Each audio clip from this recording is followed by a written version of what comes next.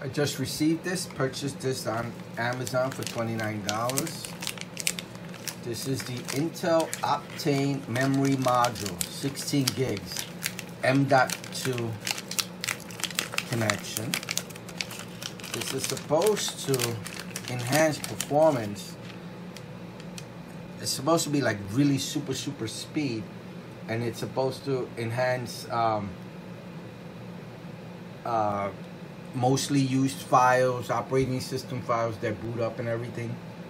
This is supposed to make it a lot faster for the computer to work off of. Faster than uh, memory, faster than SSD. Sort of like a high-speed cache. So I'm trying it out on my computer, see how well it works. It's supposed to um, uh, files, uh, important tasks and files are immediately recognized.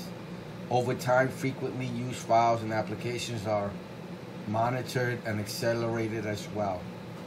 Two physical devices are paired into a single volume. So let's see how well it works. I'm putting it into my, uh, I have an i9, so I'm putting it into my CyberPower PC, which is this one here.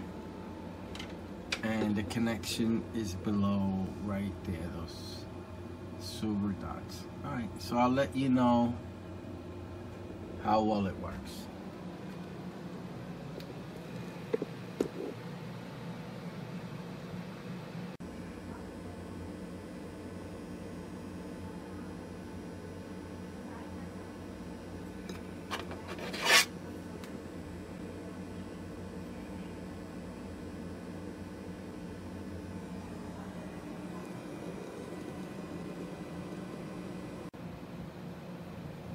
I've been using the Intel Optane memory module for a few hours now. And I did notice an increase in certain things, like Chrome is running faster, reboot is uh, much faster. Um, everything, see, you know, the things I usually use, especially startup, got a little bit better. So I'm hoping over time it gets even better. So I bought the OEM version. It didn't come with the software. You have to do, I did an Intel Optane memory uh, module driver uh, Google search and this is the interface of it. So as you can see the setup it was disabled I enabled it. This is the information it gives you. And in order for you to use pinning I guess you can add files and applications yourself. Instead of it doing automatically it, it says it can only it only it's only supported on uh, 32 gig Intel modules, I believe. Yep, there it is right there, 32 gigs. And uh, no statistics because I don't have the 32 gig module. And this is the module I have. This is the uh,